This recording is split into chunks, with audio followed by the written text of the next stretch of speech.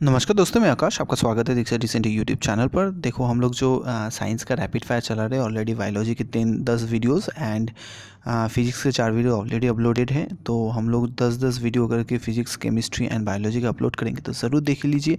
बाकी बहुत सारे एम का बना हुआ है साइंस का। हाँ तो मैथ्स रीजनिंग सभी के प्लेलिस्ट बना हुआ है डिस्क्रिप्शन में मैं आपको दे भी दूँगा तो ज़रूर देख लीजिएगा। तो सबसे पहले आज स्टार्ट करते पहला क्वेश्चन जो हम लोग का है देखो क्यों डिफ़िकल्ट होता है ब्रेथ हायर एल्टीट्यूड में जाओगे? जितना ऊपर जाओगे क्या होता है हम लोग जो आ, जो हम लोग ब्रेथ करते हैं उसमें डिफ़िकल्टी लेवल आ जाता है। हम लोग नहीं आसानी से जो है हम लोग को कष्ट होता है जो ब्रेथ लेने में। ये क्यों होता है? क्योंकि ऊपर में जो आप जाओगे तो प्रेशर जो है तो वो लो हो जाता है ठीक है? अच्छा स्ट्रॉन्गेस्ट फोर्स नेचर में क्या है? वो न्यूक्लियर फोर्स है, सबसे स्ट्रॉन्गेस्ट फोर्स होता है। अ पर्सन हर्ट होता है ऑन किकिंग अ स्टोन क्या होता है? आप कोई स्टोन को अगर लात मारोगे तो आपको लगेगा, क्यों? उसका रिएक्शन आता है। वो किस लिए होता है? बिकॉज़ ऑफ़ रिएक्शन अच्छा rice it is difficult to cook rice at the top of the mountain ठीक है, क्या होता है? माउंटेन के टॉप में जाओगे तो आपको राइस करने में, क्योंकि वहाँ पे आपका प्रेशर लो प्रेशर होता है। ठीक है? What happens when two stone of different masses are dropped simultaneously from the top of the building क्या होगा अगर टॉप ऑफ़ द बिल्डिंग को दो आप स्टोन सेम मास को गिराओगे तो सभी स्टोन जो है सेम हाइट से एक ही साथ रीच करेगा ग्राउंड को, ठीक है?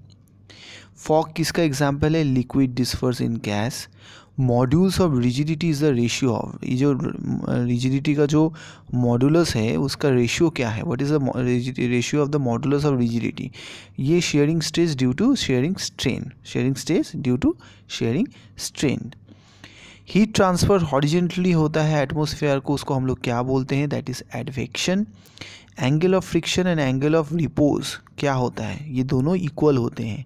फ्रिक्शन एंड रिपोज जो होगा इक्वल टू ईच अदर होगा. A boy sitting in a train moving at a constant velocity में जा रहा है through a ball straight up into the air ball will उसके हाथ में ही आएगा सेम ठीक है क्योंकि कॉन्स्टेंट वेलोसिटी यही जाए उसके हाथ में ही आएगा। Intensity of gravitational field of earth maximum poles में होता है इंपॉर्टेंट है बहुत।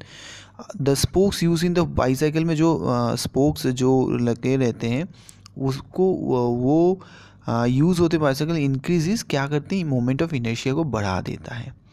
ट्रांसफ़र काम करती है म्यूचुअल इंडक्शन के ऊपर। शिप जब एंटर करता है सी फ्रॉम अ रिवर तो उसका लिटिल थोड़ा उसका राइज हो जाता है। ये बहुत बार आ चुका इंपॉर्टेंट है। सी वाटर प्योरीफाई कर सकते हो खारे पानी को वो डिस्टिलेशन के माध्यम से। Centre of gravity of of a sprinter during the race क्या होता है? अहेड ऑफ़ इस फीट अपना फीट के आगे रहता है। A piece of a paper and a cricket ball और dropped from the same height से आप अगर ड्रॉप करोगे under which of the following condition both reach the same surface हमें कब होगा? तो अगर आप वैक्यूम कर दोगे, तभी होगा।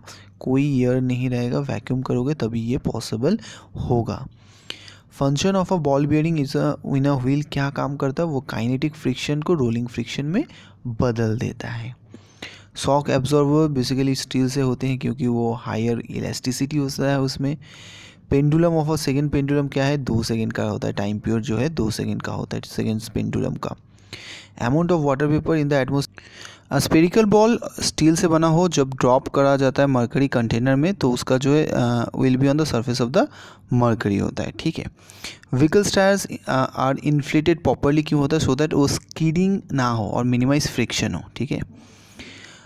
Should cars have bumpers that collapse under impact yes is they help to absorb the impact of collision and keep the occupant safe ice cubes are added to a glass of pure water and glass of pure alcohol the ice would float in alcohol and obviously sink क्योंकि आपका जो uh, uh, alcohol का जो है वो ज़्यादा रहता है आपका, ठीक है? तो ऑब्वियसली उसमें आपका फ्लोट करेगा और आपका डेंसिटी जो है एल्कोहल का ऑब्वियसली ज़्यादा है तो फ्लोट करेगा एंड वाटर का कम रहता है। What is the principle of a life jacket life jacket का प्रिंसिपल क्या होता है? It increase the volume of the person to keep him afloat और कुछ नहीं, उसका वॉल्यूम जो है वो बढ़ा देता है। उसलिए वो फ्लोट करता है। A rubber ball is drop from the height of two metre to what height it will rise if there is no loss of energy velocity after rebounding ये दो मीटर ही होगा। नेक्स्ट क्वेश्चन पे चलते हैं।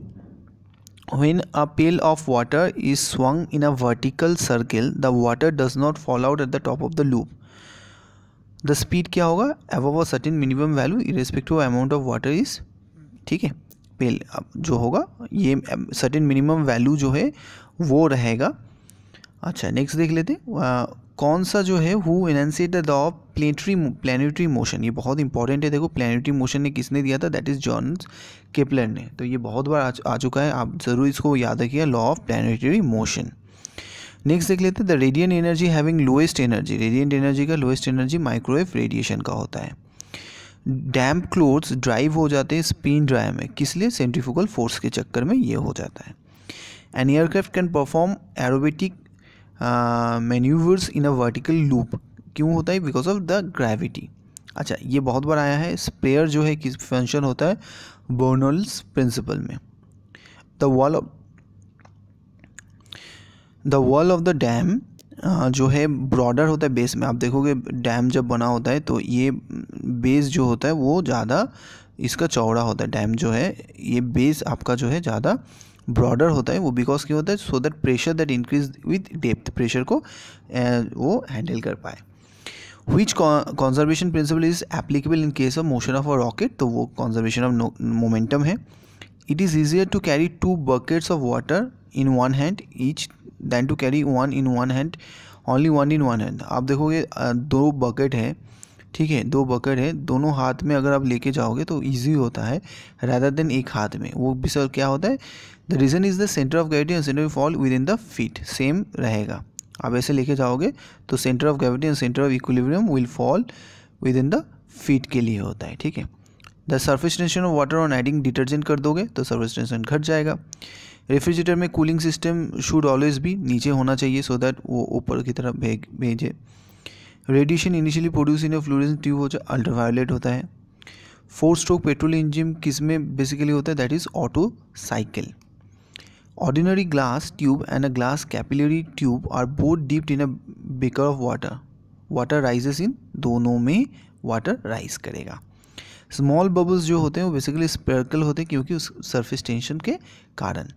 दो rods copper एक और एक स्टील एक्सपीरियंस सेम आप thrust when placed in water में करोगे because both have equal volume a single fixed pulley is use to drawn water from a well because force is applied in a convenient directions में होते हैं बोल के।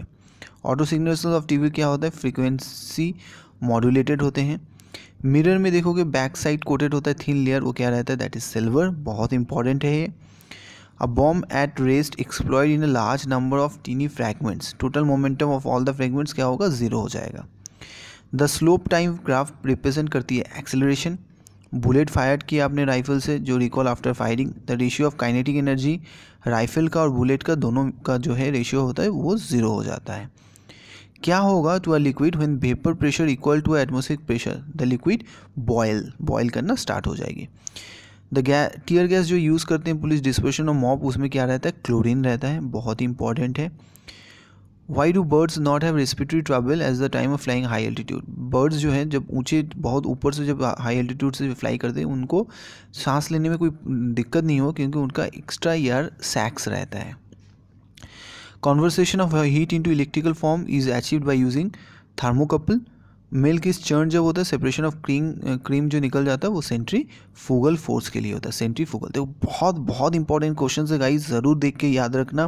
Questions definitely इसे पूछे जाएँगे। तो चलो अच्छा लगे तो ज़रूर लाइक शेयर कर देना। थैंक यू फॉर वॉचिंग फिर मिलते हैं नया वीडियो के साथ। Good bye